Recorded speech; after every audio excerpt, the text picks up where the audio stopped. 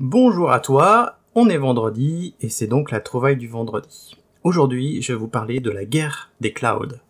La guerre économique qui fait rage entre les États-Unis et la Chine en ce moment et qu'on peut bah, voir en direct.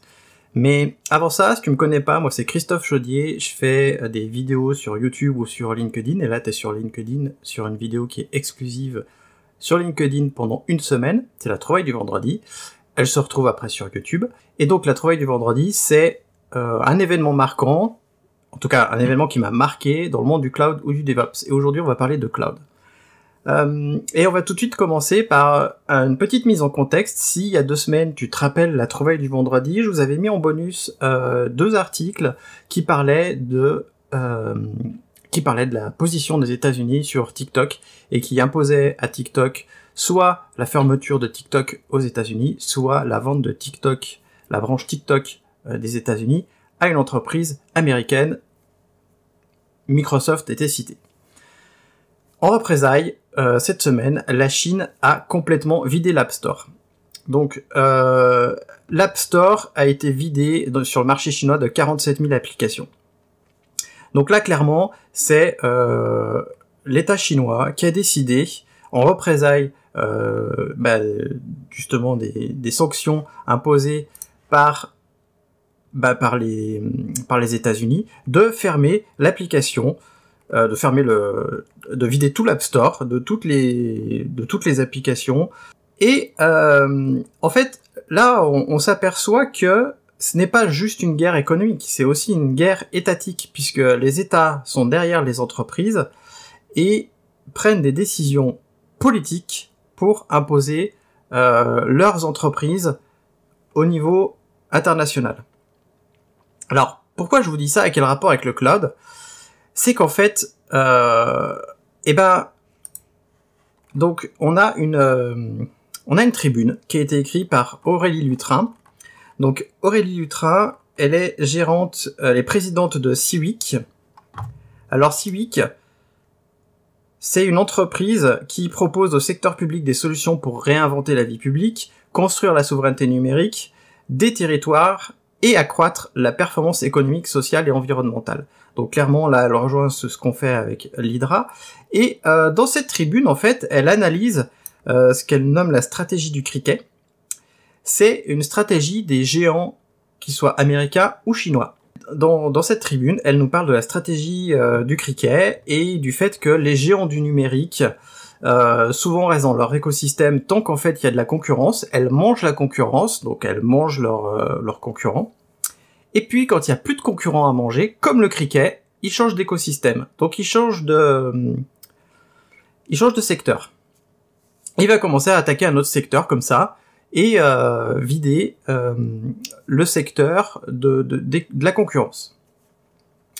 On se rappelle quand même euh, si on a oublié que Amazon, qui est donc là ce qui nous intéresse, Amazon Web Services, qui est à l'origine une, boîte d'Amazon, et Amazon à l'origine vend des livres. Jeff Bezos a commencé par vendre des livres sur Internet et euh, a phagocyté la vente de livres pour aller après à la vente euh, de, biens e-commerce standard, puis après aller dans le cloud jusqu'à commencer à phagocyter le cloud et aller beaucoup plus loin. On va le voir dans la suite de l'article. N'oublions jamais ça, et tous les gens qui font du e-commerce et qui essayent de monter une marque euh, le savent, ils ne vont pas chez euh, Amazon, parce que s'ils vont chez Amazon et qu'ils commencent à vendre un produit qui se vend bien, Amazon le verra, le saura et commencera à le vendre à son propre compte et deviendra concurrent direct d'un membre de sa plateforme, puisque Amazon c'est aussi une plateforme, une marketplace, une plateforme de euh, marché sur lesquelles les gens peuvent vendre euh, des biens.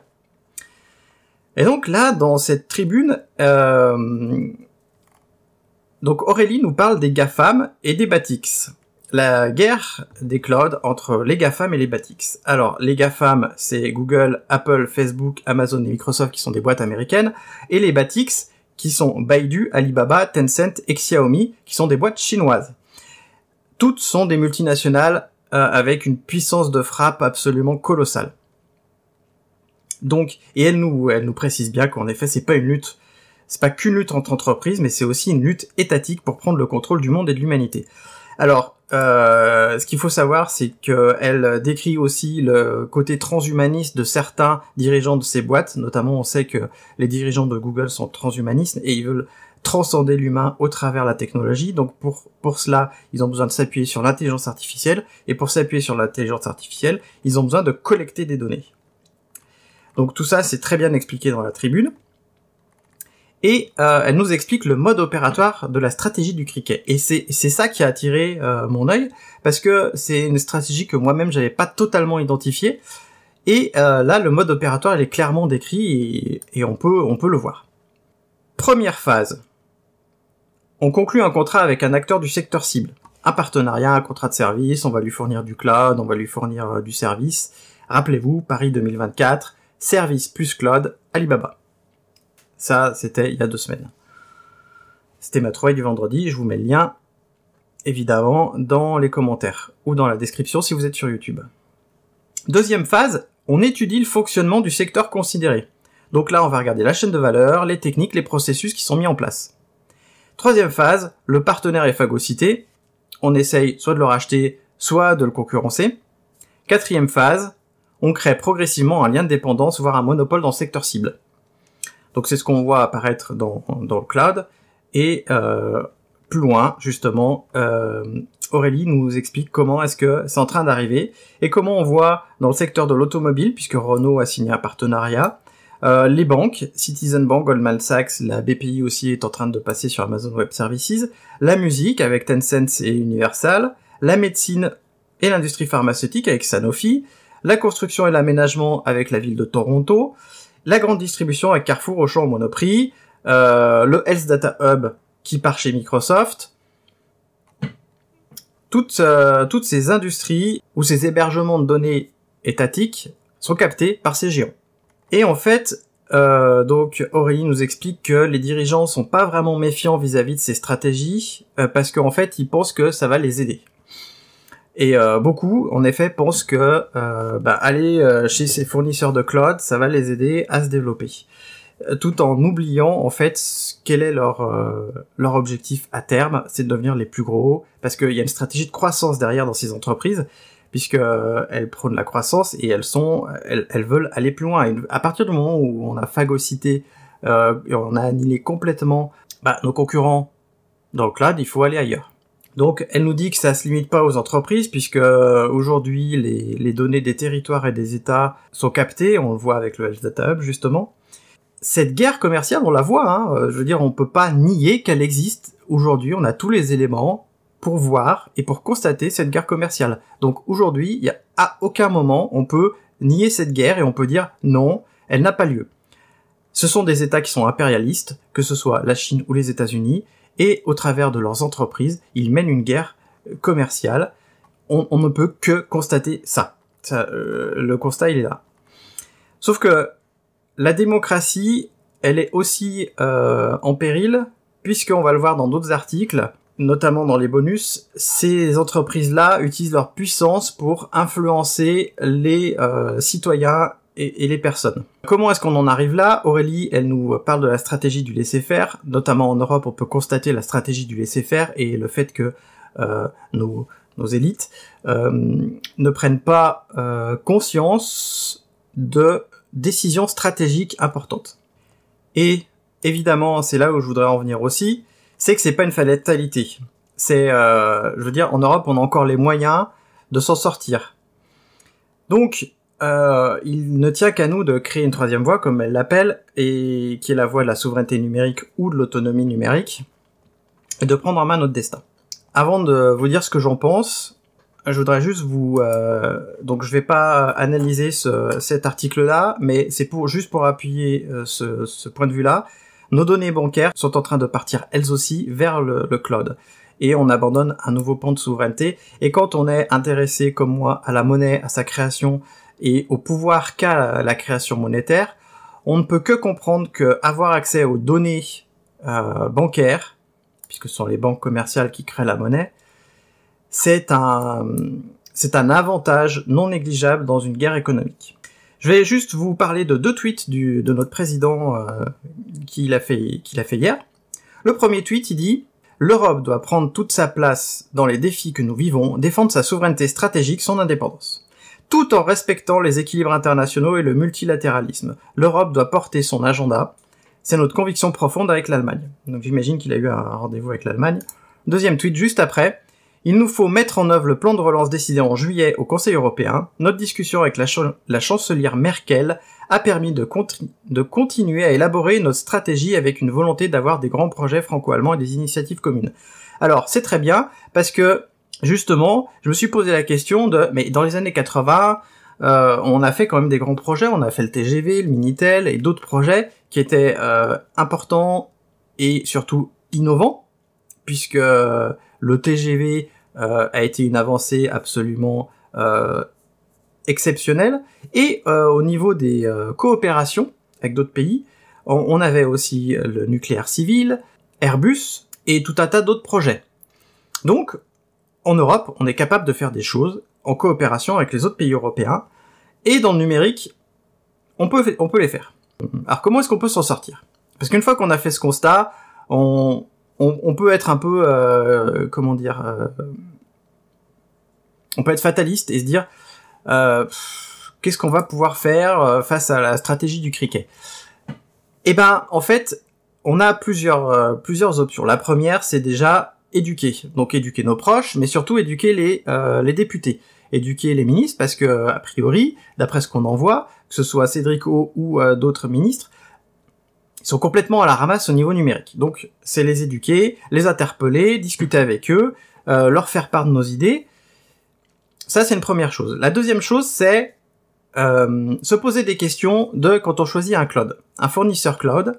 Et euh, alors, je préviens tous les fans de technologie, les technophiles qui vont me dire en commentaire oui, mais Amazon Web Services ont les meilleurs services, euh, on peut pas rivaliser. Oui, mais Azure, euh, c'est super, de toute façon, il y a personne qui leur arrive à leur cheville.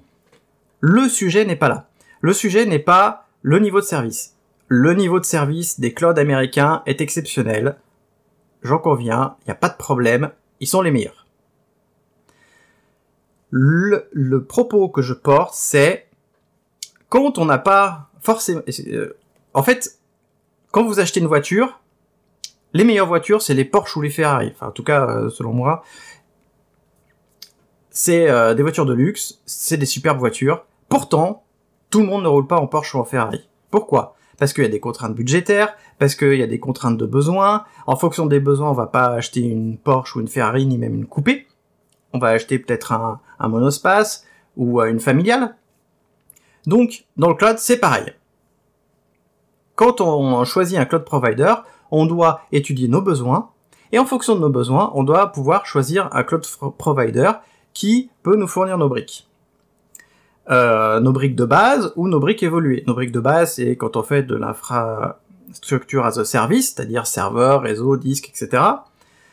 Euh, et euh, briques évoluées, euh, base de données as a service, euh, je ne sais quoi as a service, tous les services managés. Kubernetes as a service, etc., etc. Donc, quand on va sur un cloud, on peut se poser des questions un petit peu plus que ah Amazon Web Services c'est les meilleurs, je vais aller chez eux. Azure euh, c'est super, ils m'offrent des crédits, je vais aller chez eux. On peut se poser des questions de OK, alors stratégiquement, est-ce que c'est intéressant d'aller chez eux? Est-ce qu'ils vont me phagocyter? Est-ce que le Cloud Act est un problème pour mon business? Est-ce que j'ai besoin de tout ça? À partir de ce moment-là, on analyse et on, prend euh, on prend les choix qui nous intéressent. Donc ça c'est la deuxième chose, c'est identifier euh, bah, des fournisseurs et aller chez eux. Et que ce soit au, niveau des services, il y a des tas de fournisseurs de services en ligne qui sont français hébergés en France. Vous pouvez même pas vous imaginer. Donc l'idée, c'est d'aller les chercher. Et donc, en faisant ça, et en prenant des services qui sont hébergés en France ou en Europe, on va réinjecter bah, tout, euh, toute la prestation qu'on va faire et toute la monnaie qu'on va leur donner. Cette monnaie elle va être réinjectée dans, bah, évidemment, la R&D. Parce que évidemment, si euh, tous les capitaux partent vers les gros, la R&D des petits euh, européens, eh ben elle, est en péril. Donc là, c'est une deuxième voie. La troisième voie que je vois, c'est au niveau des, des appels d'offres publics, peut-être qu'il faudrait arrêter avec cet appel d'offres non géographique et commencer à se dire que on va commencer à étudier les propositions qui sont internes à l'Europe avant de pouvoir commencer à étudier les propositions qui soient externes, au niveau de l'hébergement de données, évidemment. Pour pouvoir rediriger les capitaux européens vers des entreprises européennes, parce que si on dirige les capitaux européens vers des, entreprises étrangères, ces capitaux-là s'évadent et ils ne reviennent plus. ça, c'est une troisième voie. Donc, euh, et puis, donc, je vous parlais des services. Nous, en tout cas, avec l'Hydra, on développe euh, deux services, notamment un qui est Frogit, qui est une usine logicielle hébergée en France est tenu par des Français, qui est du coup non soumis au Cloud Act, et euh, c'est un équivalent à GitHub ou à GitLab, sur lequel vous pouvez héberger votre code source, qui ne sera pas hébergé aux États-Unis. Donc, on essaye nous aussi de faire notre part dans l'autonomie et la souveraineté numérique en créant des services français ou européens. On n'est pas les seuls, donc il suffit d'aller chercher. On n'est pas, euh, comment dire, on n'est pas encore le couteau sous la gorge. Donc c'est le moment d'agir, et c'est le moment de le faire. En bonus, cette fois-ci, je vous parlais justement de, cette propension qu'ont ces multinationales à faire pression sur les citoyens. On le voit actuellement, donc une bataille qui est menée entre l'Australie et Google. Donc Google s'adresse aux citoyens pour combattre un projet de loi. Parce qu'en fait, le gouvernement d'Australie euh, a créé une loi qui obligerait Google à payer aux médias les contenus empruntés. Ça, c'est un vrai sujet euh, pour le coup stratégique et la presse en France, euh, elle est aussi euh, menacée par ça, puisque Google non seulement présente les données, mais en plus les met en cache et fait disparaître les sites originaux. Donc là, pour le coup, l'idée de cette loi australienne, c'est de faire payer Google pour les contenus empruntés, c'est du droit d'auteur. Et en fait, Google a répliqué par une lettre ouverte aux Australiens. Et cette bataille australienne, elle est, elle est intéressante parce que euh, au niveau mondial, si ça passe, et j'espère que ça passerait, les autres pays pourraient, pourraient aussi s'en inspirer.